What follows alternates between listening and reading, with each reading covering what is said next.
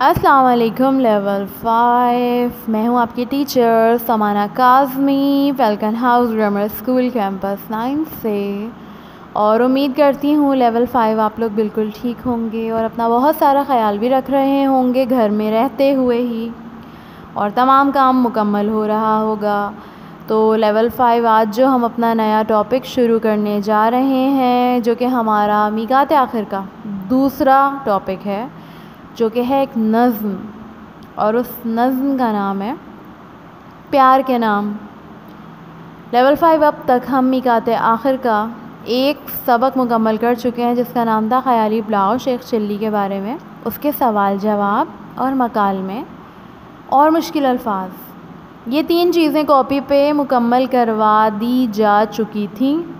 तो मुझे उम्मीद है कि वो प्रॉपर तरीके से मुकम्मल की गई होंगी उनवानी सफ़ात मेंटेन करते हुए। तो आज जो हम अपना नया टॉपिक शुरू करने जा रहे हैं ना उसका भी उनवानी सफ़ा मेंटेन होगा ठीक है? तो चलिए शुरू करते हैं सफ़ा नंबर 130 पर नज़म प्यार के नाम। नज़म प्यार के नाम शायर का तारफ़ शानुल हक हकी जो कि शायर का नाम है। बच्चों और बड़ों दोनों के लिए बेहद मकबूल शायर हैं। बच्चों के लिए उन्होंने कई दिलचस्प अंदाज में मज़ाहिया नज़में लिखीं। उनकी नज़में बच्चे बहुत शौक़ से पढ़ते हैं। भाई भुलक्कड़, उनकी हर दौर में पसंद की जाने वाली नज़म है। नज़म की तर्ज बनाकर मिलजुल कर दुरुस्त तलफ़ और लहन से पढ़िए। बस्ती में एक दोस्त हमारे उल्फत नाम के रहते हैं। प्यार से जिनको सब घर वाले उल्लू उल्लू कहते हैं।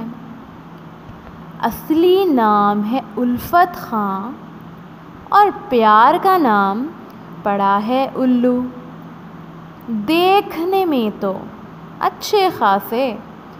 पूछो नाम तो क्या है उल्लू? उल्लू बेटा, खाना खा लो। बैठ गए वो खाना खाने। उल्लू भैया, सौदा ला दो। दौड़ गए वो सौदा लाने। फैल चुका है उर्फ़ उल्लू का। मुश्किल है, अब इस पर काबू। बड़े हुए तो कहलाएँगे, उल्लू चाचा, उल्लू बाबू।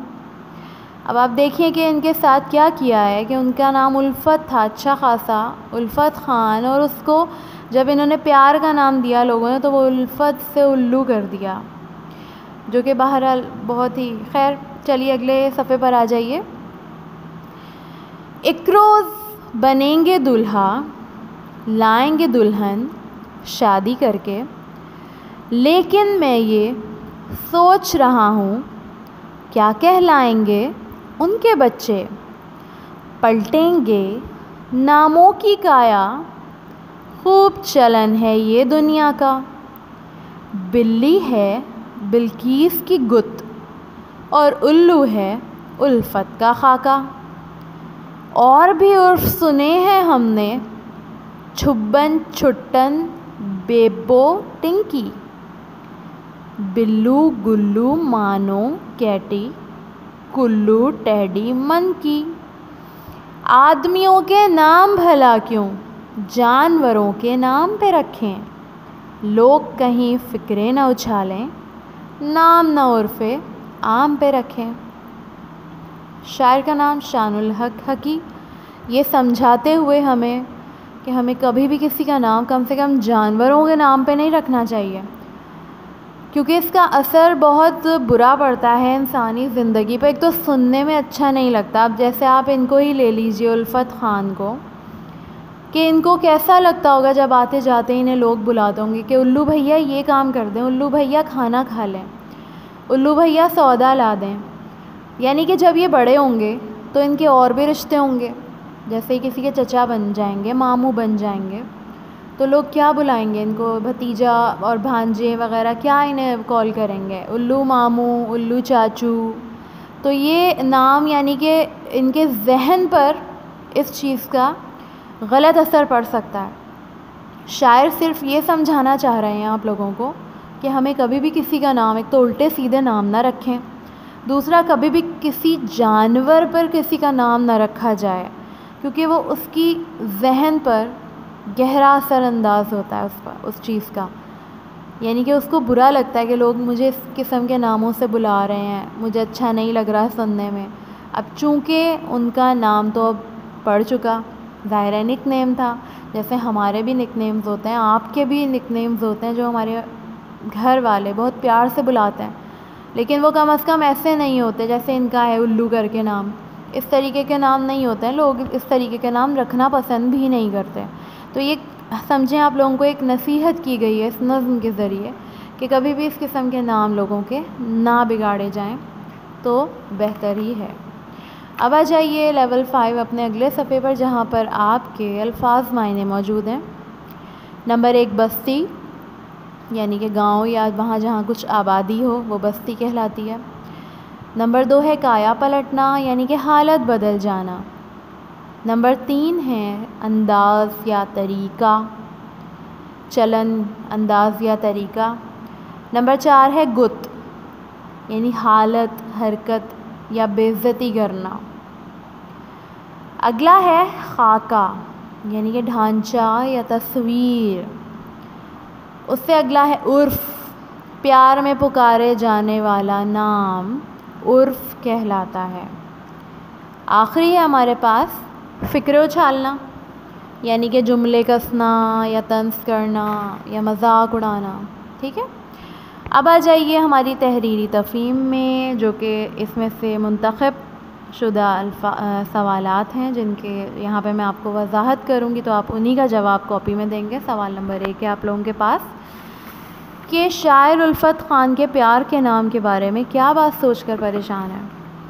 वो यही सोच कर परेशान हैं कि जब उल्फ़त उल्फ़त ख़ान बड़े होंगे तो जो रिश्ते उनके बदलेंगे, कोई उन्हें कहेगा उल्लू चाचा, कोई उल्लू बाबू कहेगा, कोई उल्लू मामू कहेगा। और तो और जब उनकी शादी हो जाएगी तो लोग उनके बच्चों का नाम भी उनके नाम की वजह से बिगाड़ बिगाड़ेंगे, जो कि उनके लिए बहुत परेशानी का बायस बन सकता है। तो इस वजह से शायर पूरी नज़म में उनका नाम लेकर इसीलिए इतने परेशान हैं कि आगे मुस्तबिल में जब वो बड़े हो जाएँगे तो उनके नाम के ज़रिए उनके रिश्तों पर भी असर पड़ेगा, जो कि उनके लिए बेहतर बिल्कुल भी नहीं है। अब आ जाइए सवाल नंबर दो है हमारे पास। नज़म के ज़रिए शायर ने क्या बात समझाई है?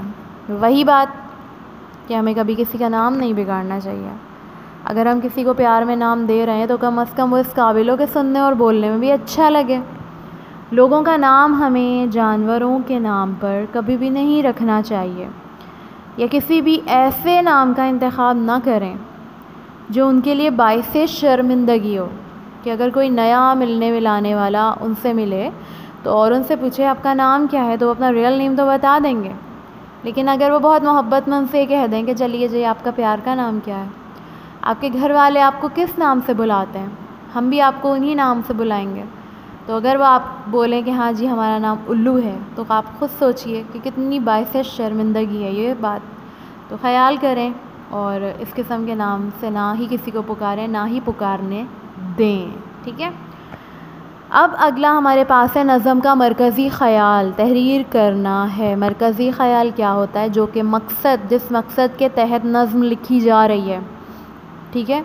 वो होता है मरकज़ी ख़याल। कि मकसद क्या था? क्या पैगाम दिया शायर ने? क्या पैगाम दिया हमें शायर ने? इस नज़म में शायर ने एक किरदार, उल्फ़त ख़ान उर्फ़ उल्लू के ज़रिए ये बात वाज करने की कोशिश की है।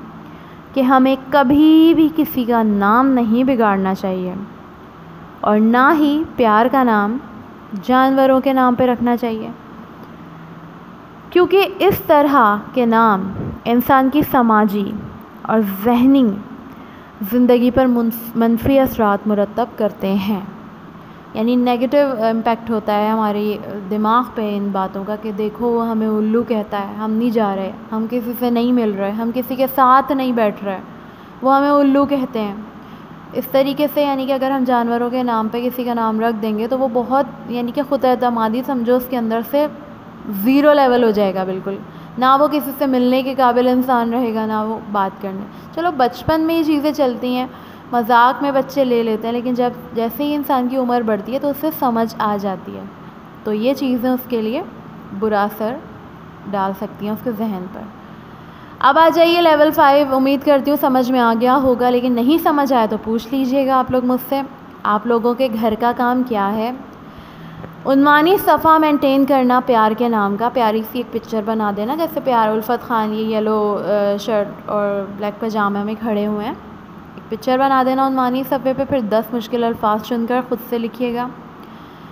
उसके बाद आपने इन तीनों सवाल जिनमें दो सवाल और एक मरकज़ी ख़्याल है, इनके जवाब आपने अपनी कॉपी में देने हैं। समझते हुए बात को फिर कॉपी में अच्छे अल्फाज मंतखब करके उसके जवाब अपने अल्फाज में देने हैं आप लोगों ने।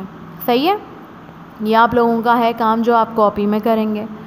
इसके अलावा एक और छोटी सी मश्क है, जो मश्क नंबर चार आपके सफ़ा एक सौ तैंतीस पर मौजूद है कि प्यार के नामों को असल नाम से मिलाने हैं। जो हमारे आम ज़िंदगी में हम सुनते रहते हैं, जैसे कामी से कामरान कामरान भाई हैं, ये कामी भाई हैं, ठीक है? नुमान भाई हैं, उन्हें हम नूमी कहते हैं। तो इस तरीके से ये तमाम प्यार के नाम है, जिनको आपने असल नामों से मैच कर देना है। तो ये आपका होमवर्क है, जो कि आपने अपनी कॉपी में करना है, बेटा। अल्लाह हाफिज़